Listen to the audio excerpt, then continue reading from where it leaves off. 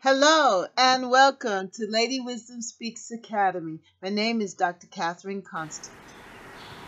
Good morning, good morning, and welcome to Lady Wisdom Speaks Academy.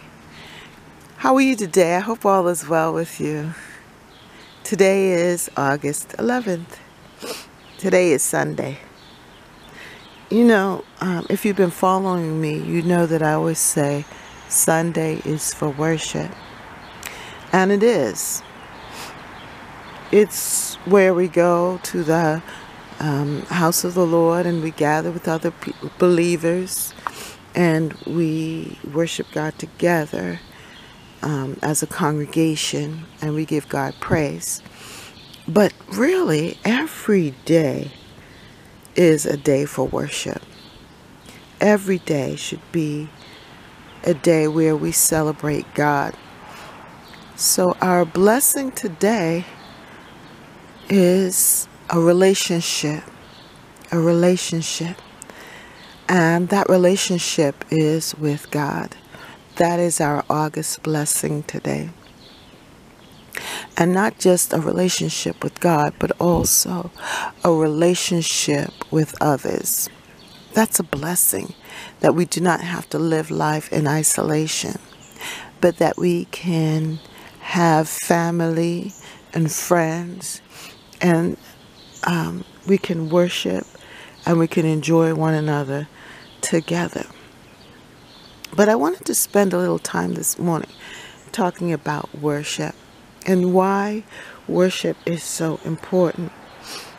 And um, in Isaiah 29, verse 13 in the Amplified Bible, it says, Then the Lord said, Because this nation approaches me only with their words and honors me only with their lip service, but they remove their hearts far from me, and their reverence for me is a tradition that is learned by rote without any regard for its meaning. And I think that is what has happened to Sunday worship or the Sunday uh, time of fellowship when we come together with one another in the house of the Lord. That it's become rote, it's become tradition. And it's lost its value because instead of worshiping the Creator, we've we're, worshiping the process. We're worshiping um, the tradition, and and that's a problem. That's a problem. Um, Psalms 150 says, "Praise the Lord, praise God in His sanctuary, praise Him in His mighty heavens, praise Him for His mighty acts, praise Him according to the abundance of His greatness, praise Him with trumpet and sound, praise Him with harp and lyre." Praise Him with tambourine and dance. Praise Him with string instruments and flute. Mm. Praise Him with resounding cymbals. Praise Him with loud cymbals. Let everything that has breath and every breath of life praise the Lord. Praise the Lord. Hallelujah. And that is what it's all about. It's about having an attitude of thanksgiving and praise to our God. It's about praising Him. Hallelujah. It's about worshiping Him. It's about having a thankful heart that God has decided to create you and me so that we can experience life. That's what it's about. That we can share our life with others. And as we come together, all of us together saying, Thank you, Lord, it becomes a loud sound of praise. It becomes that loud sound that is spoken here together. And that's why I say Sunday is for worship. It's not because I just want people to go to church. No. Because a lot of people go to church, but that doesn't mean that they're giving God praise. That doesn't mean that they're worshiping Him. They're worshiping the tradition. So ah, I put in my two hours of worship. That's it. Mm-mm. And for some people, when they go to church, it's like, oh, I got to stay here for an hour and a half. Why is church so long? Why do they have to do all of that? And but that's not the point. That's not the point of worship. The point of worship is to get into the presence of God and to have a heart that is happy to be with him. When you're happy to be with the person that you love, then you are willing to worship. And that's what it's all about. I particularly like this verse. It says, Let them praise his name with dancing. Let them sing praises to him with the timbrel and the lyre. And so, for me, my August blessing is the fact that I can dance before the Lord, that I can dance and be happy, and that my dancing and my praising brings joy to God because it is a form of worship. It's a form of thanksgiving. And I'm saying, Lord, I am grateful to be alive. And I'm glad that you are my God and that you created me so that I can worship you. And I think that's what worship is all about. It's about giving God praise. So we worship where God isn't moving by the quality of our voice, but by the condition of our hearts. And that's a Chris Tomlin. He said that worship is where God isn't moved by the quality of our voice, but by the condition of our heart. And it worship is a heart thing. It's about where is your heart? What is your focus? What are you into? What are you meditating on? What has your attention? Does God have your attention? And so that's why every morning when I wake up and I come here and I look for the August blessings is because I want my attention to be focused in on God. Worship isn't an activity, but rather it's a heart posture that holds God in the highest esteem. Just like these flowers.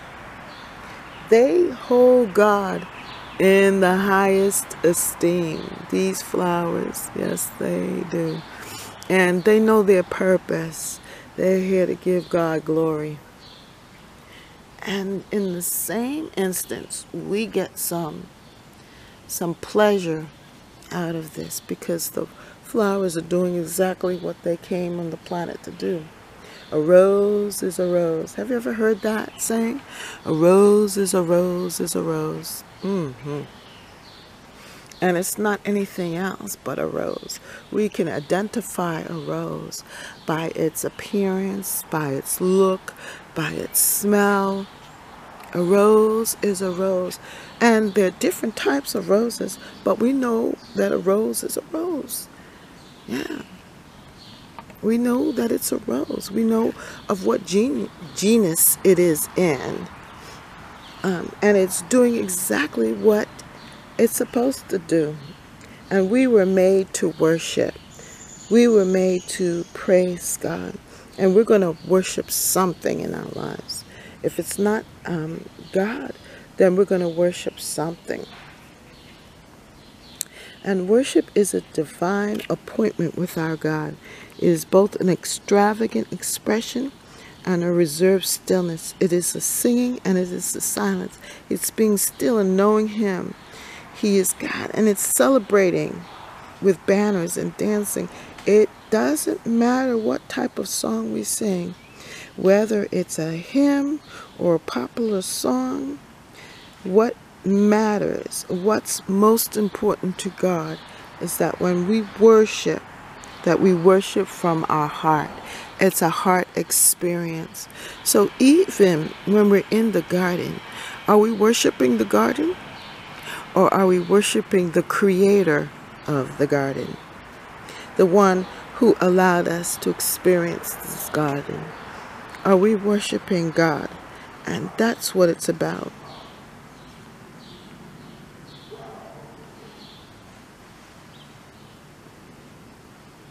And we receive comfort from worship because we are doing what we were brought here on the earth to do. So let's make worshiping through music and dance and gardening and relationship and all these things. Let us make it an amazing experience to the Creator, the one whom we love from the heart. Amen. So let us pray. Father God, we just want to say thank you that every day is for worship. But Lord, we thank we're thankful that we can designate this day, Sunday, a day of worship where we come together with other people to give thanks and praise to the Lord to give you a note of praise, to give you a note of worship for all the good things that you have done. Help us, Lord, to worship you from the heart. And thank you for the gift of worship. Thank you for the gift of love. Hallelujah, that you've placed in us. Thank you for letting us know that we can worship you and the purpose for our lives. Thank you, Lord, for this garden in which we can worship you in. And thank you, Lord, that we can sing and that we can dance and express our love for you, that we can garden. Hallelujah. We can be happy, we can rejoice as we worship you. In Jesus' mighty name we pray. Amen.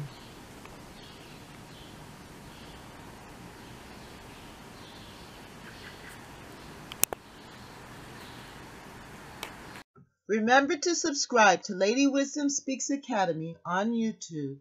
Be blessed.